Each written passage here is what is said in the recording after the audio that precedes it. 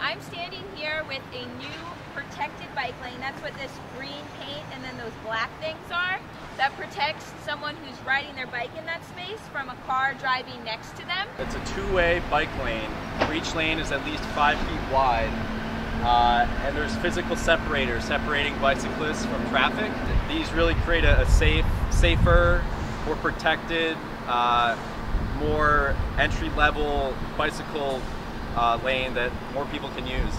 Protected bike lanes are really built for people that are interested but concerned in bicycling because you're not on the road with cars in a car lane, um, but you are still following the same roadway.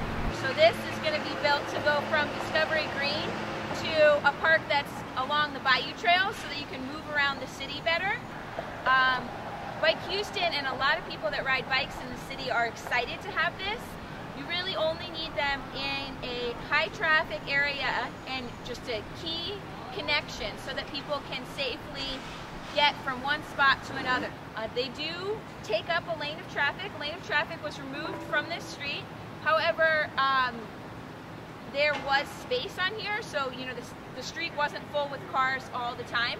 So it was decided it was the best street to and to make this connection and that when there are more safe places to ride, there are more people that are using their bike instead of driving.